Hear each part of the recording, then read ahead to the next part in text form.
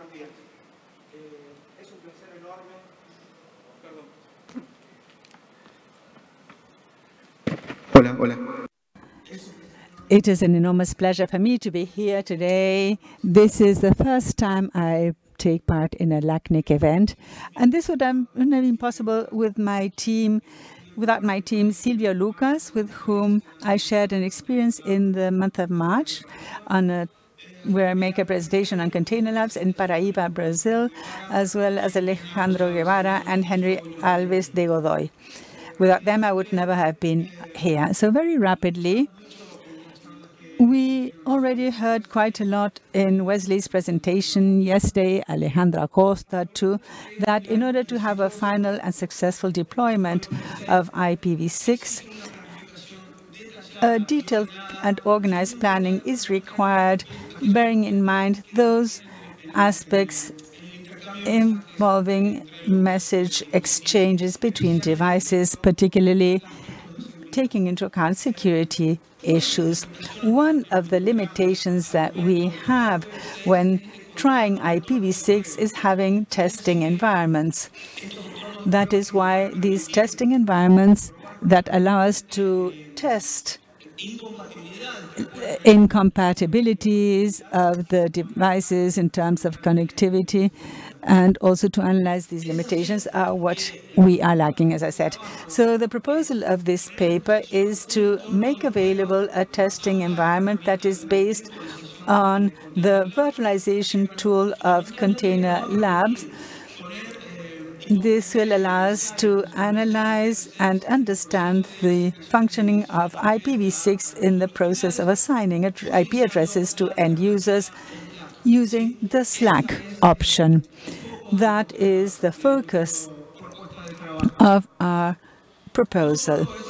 So this is not only a testing environment, this is also aimed at providing, providing training. I use this at my university when I teach, and also for government organizers and network operators that promote the deployment of IPv6. The tool we use is Container Lab. I was fortunate to participate in a webinar by Alejandro Acosta and Alejandro Guevara. And when I saw it, I said, well, this has to be my next tool. And I was totally enthusiastic about this. Very rapidly, Container Labs allows visualization on networks based on Docker containers. There are very many operational systems that can be based on NOS Linux. Some are Nokia SRL. These were the ones that created it. Container Labs arose as a proposal of the Nokia engineers. So I invite you that if you check out the website of Container Lab, there are ongoing updates of the operational systems that join.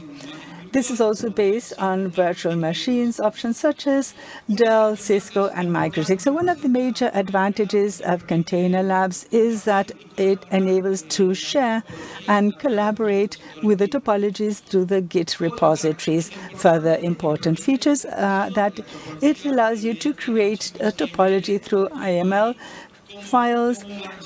And I define here what the devices are and how they will interconnect. I come from the GNS3 world, and this was a radical change in the sense of how Container Labs has conceived these topologies. Regarding the testing environment, quite obviously, I need Ubuntu, Docker. I had to integrate a traffic analyzer that is Edgeshark, which is perfectly well integrated and can analyze Docker traffic. And after lots of testing, I opted for Nokia SR Linux. And in the same image, it defines an instance. I can define an instance as a switch or also as a router. So this was a major advantage. I also had to customize a Docker tool because I needed a tool to simulate attacks. So I decided to use uh, Kali distro minimum, I added some dependencies. I added DHCP v6 uh, and the toolkit of Fernando Gont. So with all this, I had the entire scenario. This is an example of the definition of topology. You clearly see clauses and nodes and images and configuration files. All this is interpreted by Container Lab, and it generates this topology you see on the right.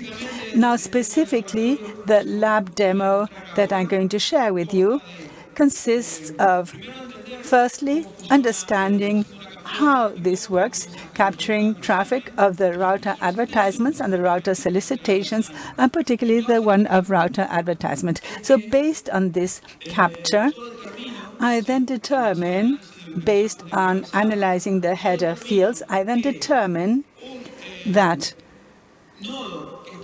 a node that is connected to a port for which I define a policy, then that I don't allow that node to do router advertisement because this can execute the attack tools simulating being a router that announces these messages so that the other devices connected to the LAN can auto-configure their IP addresses. So just in one port that I have connected the router to, the legitimate router is the one that can do the router advertising. So that is the principle for this testing, and I then extended this based on other RFCs.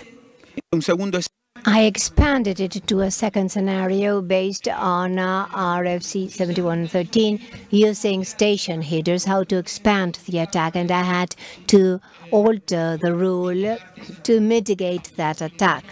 And I'm showing this briefly live.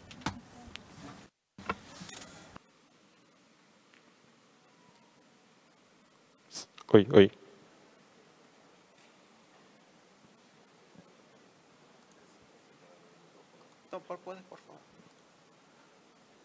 ¿Se ve mi... Can you see my screen? Can you now?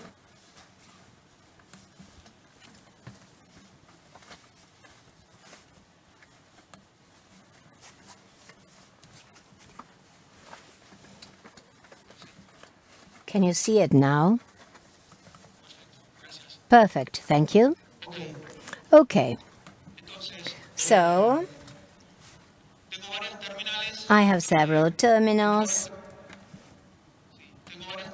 I have several terminals that I have logged in through a CH. CH.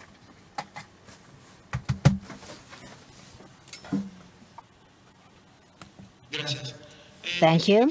Specifically, this is the rule I have configured in my Nokia SRL device. I created two instances. The first, to mitigate this attack of uh, the header, where the uh, attacker can uh, uh mask uh, the uh, um, shooter. And the entry 100, where I do a log to see where the attack is coming from and what does it drop. Those that match an Next Header uh, 58 and ICMP code 0, that is a router advertiser.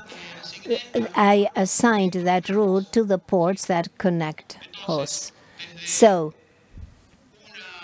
from uh, a PC that has Kali Linux that uh, to him I didn't uh, assign the rule to show that the attack works. this attack will announce the prefix 2001 DB8 DBD. That attack needs uh, will have an effect in this other node. See? Matter of fact, I see it there. What I'm going to do is, well, DH1 down to clean this.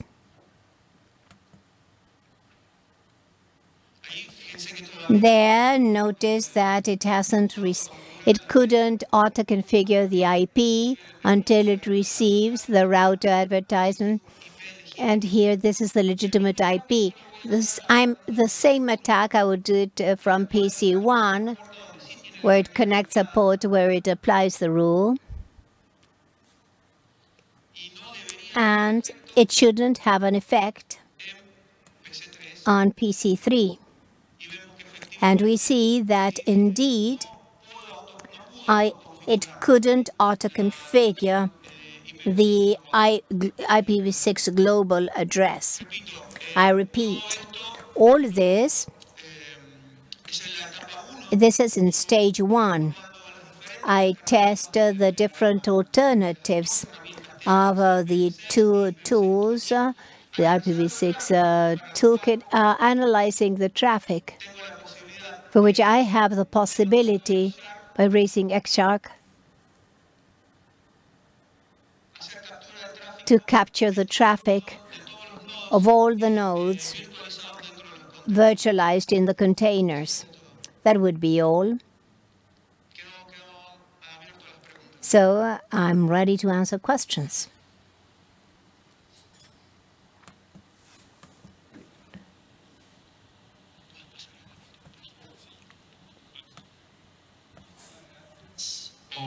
Well, thank you for the presentation of Ernesto Sanchez and Silvio Lucas. Does anybody have any questions? Would you like to approach uh, the microphone? Ayene?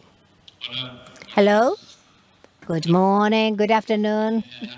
I'm Alejandro Acosta of the staff of LACNIC. I wanted to congratulate Ernesto and Claudio. I knew I know that Ernesto was uh, deeply involved I know that uh, you did a great job and you devoted much of your time. It's uh, there are discussions, many discussions about this. I wanted to congratulate you because of your work, and we invite all those who don't know this to take a look at this because this is a wonderful tool. Thank you. Thank you, Alejandro, for all your support. We don't have any remote questions. We remind the remote uh, participants that they can send questions in the Q&A panel offered by the Zoom platform. So thank you, Ernesto and Silvia. A round of applause for them.